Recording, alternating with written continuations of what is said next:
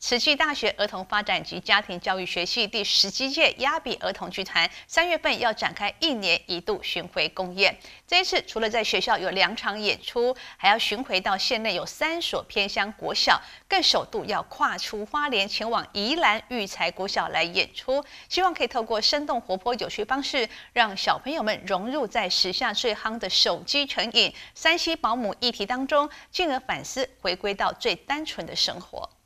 你不懂凡达湿地有多好玩了，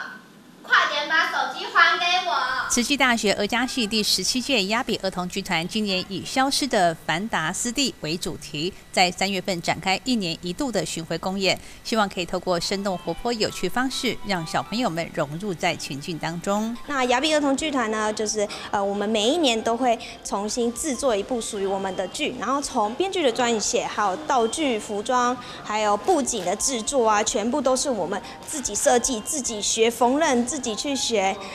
就是自己去学一切的东西，然后来制作的。今年我们的主题呢叫做“消失的凡达湿地归途之路”。那我们主要的内容大概大约是在讲说，就是因为现代科技网络的发达，其实引发很多社会议题，像是有一些人际梳理啊，或是三 C 网络成瘾，甚至还引就是还引发一些手机保姆的事情。所以我们希望借由这一出的儿童剧，可以让呃来观赏的孩童啊，还有家长们可以重新去思考，就是网。入世界的虚拟，然后进而可以就是，呃，让孩童们跟家长们能够回归到一般的生活，然后增加实质的互动，而不是就是网络上这样子虚拟的互动。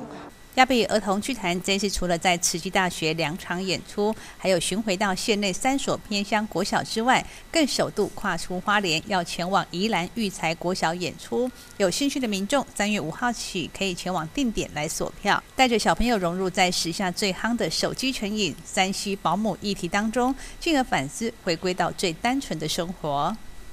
据徐立群华联市报道。